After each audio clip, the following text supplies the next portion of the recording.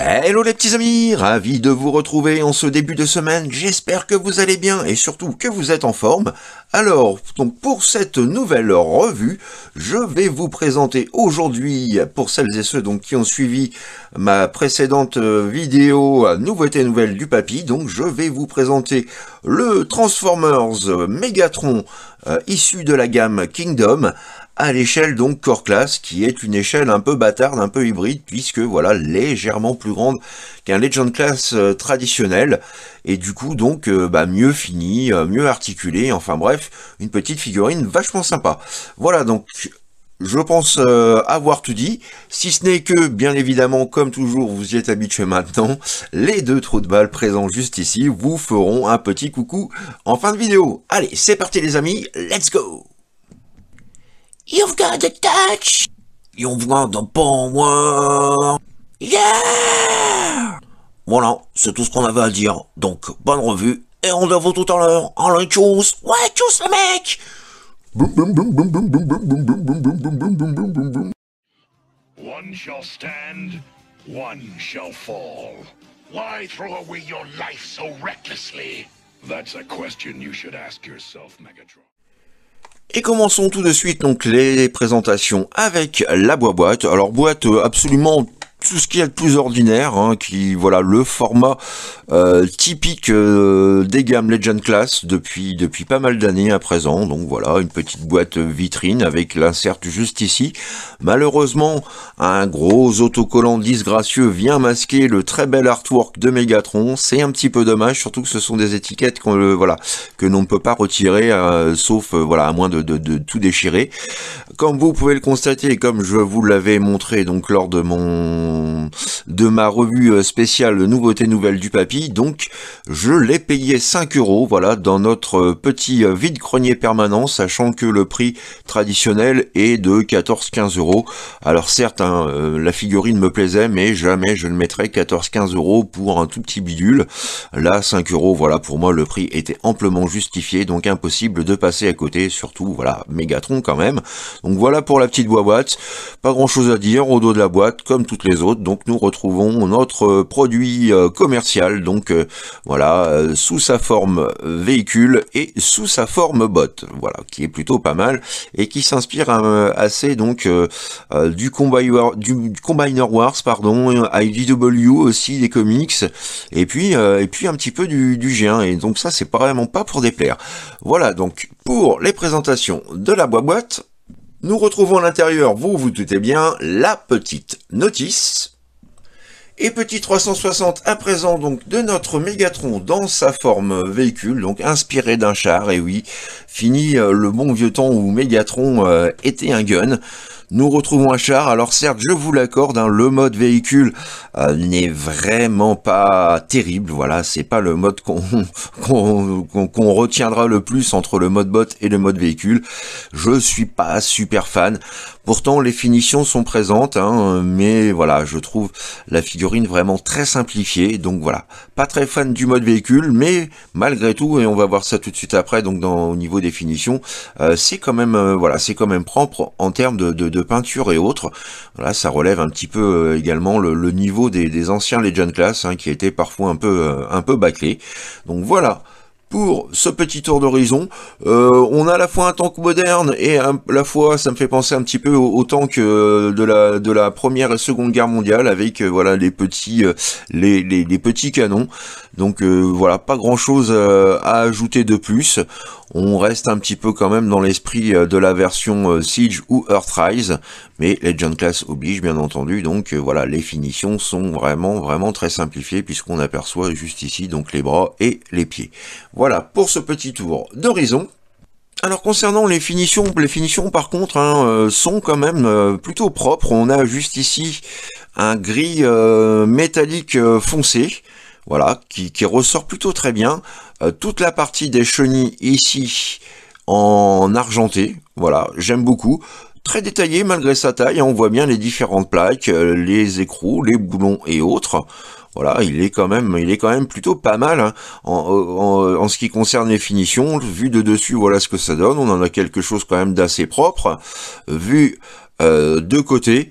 Euh, là, voilà, c'est pas c'est pas tip top. Surtout, voilà, on a ici juste à l'arrière euh, la visibilité totale sur les jambes, les genoux. Un gros jour ici à l'arrière aussi.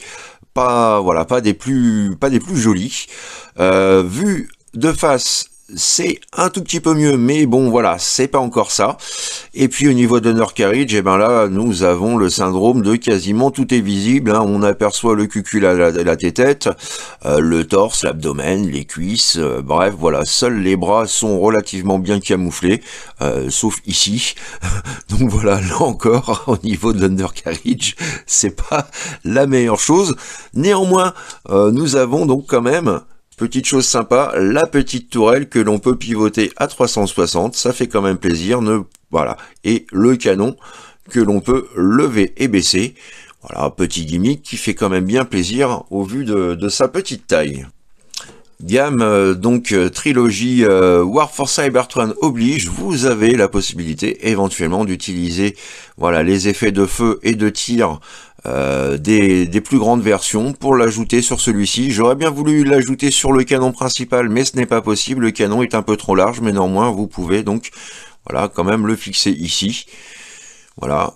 Et en termes de display, bah, c'est plutôt sympa. Je trouve que voilà, ça donne un petit peu plus de, dynamisme donc euh, au mode véhicule. Petit comparatif et photo de famille par la même occasion, donc auprès de la version Reveal the Shield sortie en 2010. Et oui, ils avaient fait, Hasbro et Takara avaient fait l'effort de nous proposer donc un Megatron Legend Class euh, dans un mode gun, voilà, qui faisait vachement plaisir, même si tout n'est pas réussi. Je trouve toujours ce jouet, euh, après autant d'années, hein, ça fait quand même 11 ans qu'il est sorti, je le trouve toujours aussi réussi, toujours aussi chouette. Et à cette époque-là, donc, il n'était pas encore trop radin hein, sur le chrome, le silver, les peintures métalliques, et puis toujours pour rappeler les gammes G1, hein, le petit symbole thermosensible qui, donc, qui fait apparaître la, faction euh, du personnage. Donc voilà, pour vous donner une idée entre le, le, le, Legend Class euh, et puis donc la taille, euh, enfin l'échelle Core Class, comme le veut donc la gamme Kignome. Et concernant la transformation à présent, Legend Class oblige, celle-ci se veut quand même euh, très euh, très rapide, très simple, intuitive. Il y a quand même quelques étapes, donc on va pas quand même bouder notre plaisir par rapport à ça. Donc tout d'abord, vous allez commencer par retirer l'embout du canon juste ici. Vous mettez cette pièce-là de côté, on y reviendra tout à l'heure. Ensuite, vous pouvez séparer, voilà, le bras, cette partie-là, donc qui va former le premier bras, et cette partie-là, donc qui va former le second bras. Hop, voilà, on redresse le tout comme ceci. Ensuite, vous venez déloquer la partie arrière. On voit bien donc, voilà, le petit crochet qui se trouve juste ici. On déloque aussi. On déploie ces parties-là ceci. Et quand c'est fait, donc vous pouvez les rabattre et les loquer grâce au petit ergot qui se trouve juste ici et qui vient se loquer là. Voilà, vous rabattez le tout. La transformation à ce niveau-là est quand même très ingénieuse. Voilà, et nous avons donc déjà les deux jambes de Mégatronche de Formèche. Ensuite, nous effectuons une rotation du bassin de façon à avoir le torse, euh, et, donc le bassin dans l'alignement du skibar et des jambes. Ensuite, vous pouvez venir à présent, voilà, déclipser ces parties-là, les soulever. Vous en profitez pour rabattre les épaules avec le petit ergot qui vient se loquer juste ici. Alors, monsieur Focus, voilà. Hop. Donc, on clique le tout et on lock comme ceci. Ensuite, vous pouvez continuer donc à rabattre cette partie-là des chenilles et vous avez grâce à la double charnière la possibilité voilà de tout replacer et de fixer dans le dos. Alors le backpack est assez imposant, mais ça reste encore euh, voilà, ça reste encore honnête, hein, surtout que le Siege euh, et le Earthrise ne font pas forcément euh, mieux. Vous tournez ensuite le cucu, la tête comme ceci. Vous faites une petite rotation de côté comme ceci pour avoir donc l'avant du bras et le point visible. Ici, vous allez pouvoir voilà, une petite rotation du canon infusion pour avoir la partie principale donc qui sort. Et vous avez au niveau du poignet donc une petite articulation qui permet comme ceci. Alors alors je remonte un petit peu la caméra rouge voilà de façon à ce qu'on puisse voir la chose. Donc vous avez voyez le point qui est inversé. Donc vous faites une rotation du point et de la partie noire donc juste ici alors c'est pas évident j'essaye de faire de mon mieux mais avec mes grosses mains pleines de doigts, vous l'avez deviné, c'est pas la chose la plus simple, surtout que tout est avec du, du ball joint. Voilà, premier cran et deuxième cran, comme ceci. Et voilà, du coup, nous avons le point et l'avant-bras apparaissent. Donc voilà, hein, quand même pas mal de petites, euh, voilà, de, de petites étapes. Et Dernière chose, vous pouvez, si vous le souhaitez, loquer son flingue comme ceci dans son dos, ou si vous voulez retrouver l'esprit génération 1, vous positionnez tout simplement le gun comme ceci, et voilà, on retrouve donc le canon à l'arrière, comme le bon vieux G1. Ça j'aime bien, le petit détail euh, qui tue, qui fait la différence. Et donc contrairement au mode véhicule, hein, on voit tout de suite que le mode robot est absolument sensationnel.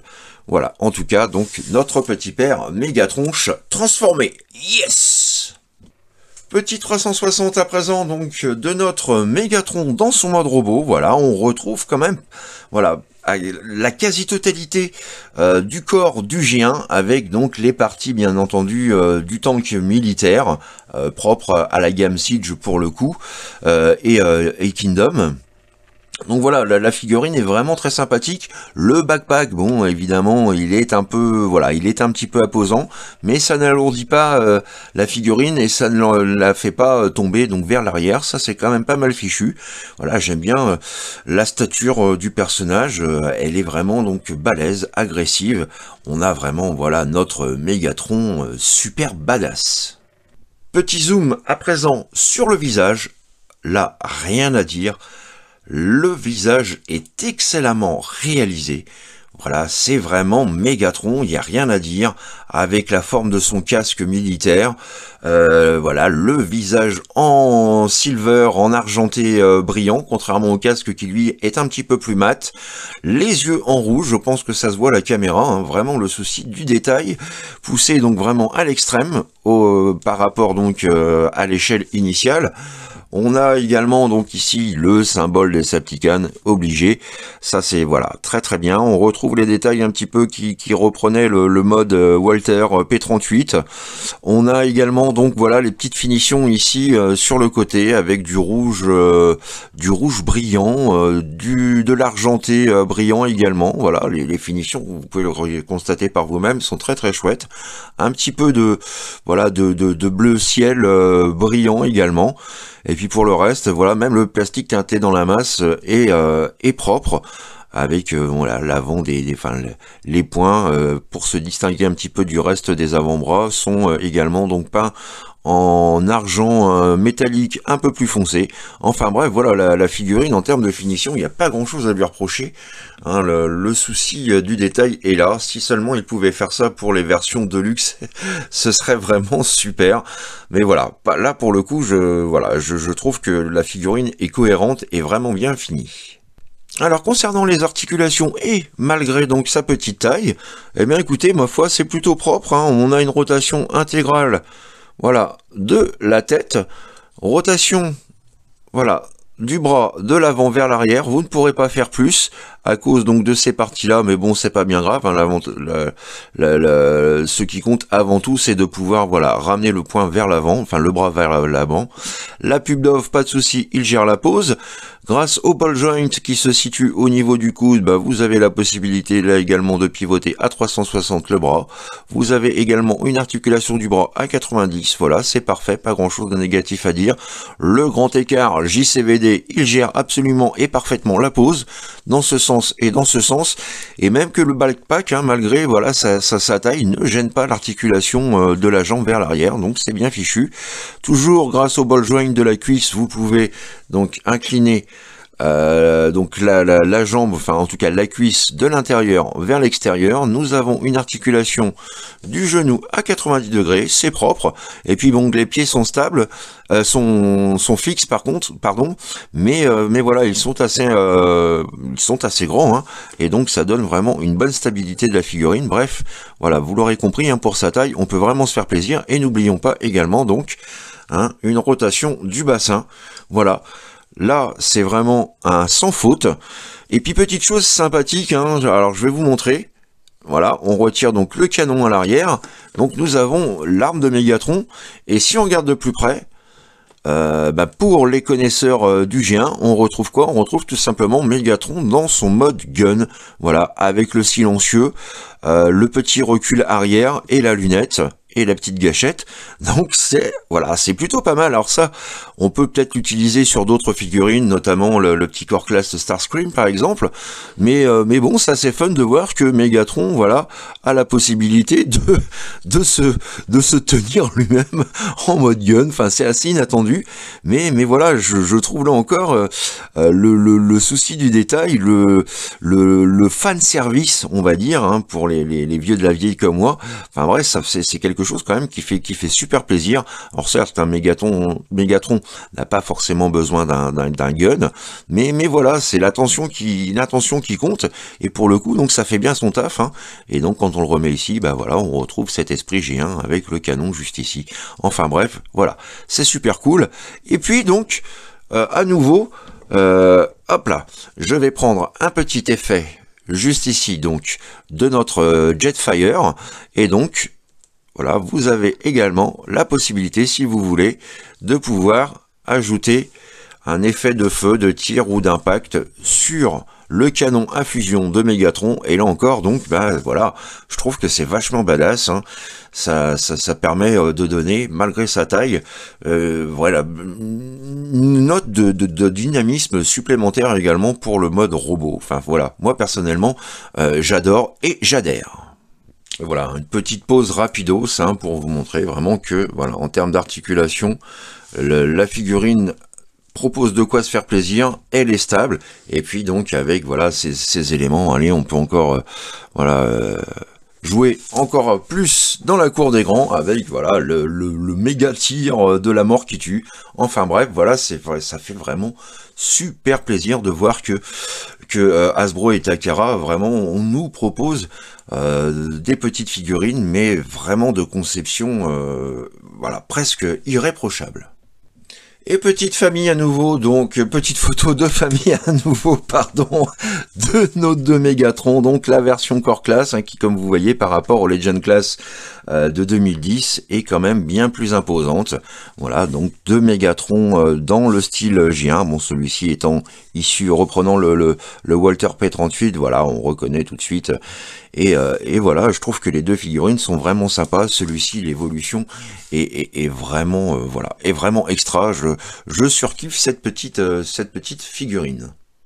Et pour conclure, donc petite photo de famille auprès euh, du Megatron Siege War for Cybertron Trilogy, donc à l'échelle Voyager Class de notre Megatronche. Voilà, on retrouve donc, comme je vous le disais, hein, euh, l'inspiration des deux véhicules, enfin du tank principal.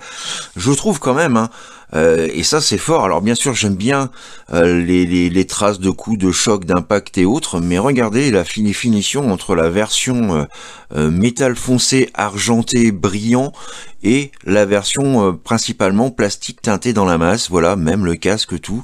voilà, je trouve que bah, pour le coup, la figurine Core Class en termes de finition est quand même voilà, excusez-moi du peu, hein, mais est quand même de meilleure, euh, de meilleure qualité que, le Voyager. Voilà, c'est tout ce que j'ai à dire. Sinon, bien entendu, hein, j'aime beaucoup, euh, beaucoup, bien entendu, cette figurine. Mais voilà, hein, cette petite gamme Core Class, donc, qui, est pleine vraiment de d'excellentes de, surprises. Voilà les petits amis, c'est ainsi donc que s'achève ma revue du jour consacrée, vous l'aurez compris, à l'excellentissime Megatron euh, à l'échelle donc euh, Core Class issu de la dernière gamme Kingdom. J'espère que cette revue vous a permis de découvrir ou de redécouvrir vraiment une, un personnage classe. Euh, malheureusement, comme je vous le disais, euh, le seul reproche que j'ai à faire vraiment c'est le prix de vente euh, en magasin 15 euros vraiment pour un petit truc comme ça c'est voilà je trouve que c'est quand même euh, cher payé au prix où je l'ai eu 5 euros je n'ai absolument aucun regret c'est une figurine plaisante, articulée, qui vous donnera satisfaction, qui reprend vraiment et qui donne un clin d'œil, vraiment un hommage vibrant aux générations 1 et à la fois donc au mode tank. Donc voilà, euh, le mix des deux est parfait, c'est vraiment euh, vraiment super. Le petit plus étant euh, donc le petit voilà sa petite arme euh, qui ressemble donc à Megatron dans, sa forme euh, gun euh, génération 1, donc qu'il peut tenir dans sa main ou qu'il peut poser, qu'il peut fixer pardon à l'arrière pour retrouver vraiment les caractéristiques du génération 1. Et puis voilà la possibilité malgré la taille de pouvoir ajouter les petits les petits effets de feu, de tir et autres. Voilà, c'est vraiment que du bonheur. N'hésitez pas comme toujours à laisser vos commentaires, vos impressions, vos avis, vos suggestions, enfin bref, ce que vous avez pensé de cette petite figurine franchement sympatoche. Euh, que dire de plus? Bah merci d'avance bien évidemment pour tous vos petits pouces bleus que vous pourrez donc me laisser sur la vidéo. Vous êtes de plus en plus nombreux à laisser des pouces. Donc voilà, ça fait ça fait quand même vachement plaisir. Euh, que dire de plus? Bah un petit coucou de bienvenue bien entendu donc euh, aux nouveaux abonnés. Merci pour votre confiance. J'espère que vous vous plairez parmi nous. Et puis comme toujours, plein de gros bisous pour les plus anciens, toujours fidèles au poste. On se retrouve donc euh, vendredi pour un Mekwaku de la Muerte. Je peux vous assurer euh, qu'il va y avoir du lourd, du très lourd, du très très lourd. Voilà, ne manquez pas donc euh, la prochaine revue Mekwaku D'ici là, eh ben, écoutez, je vous souhaite une bonne semaine. profitez bien pour ceux qui ont la chance d'être en vacances, hein, amusez-vous bien. Et puis pour les autres, plein de courage.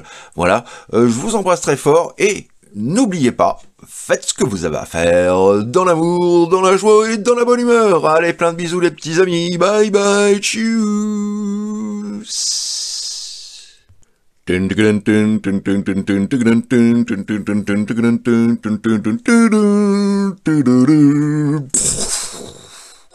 Mon nom est bon, jambon. I would have waited an eternity for this. It's over, Pride.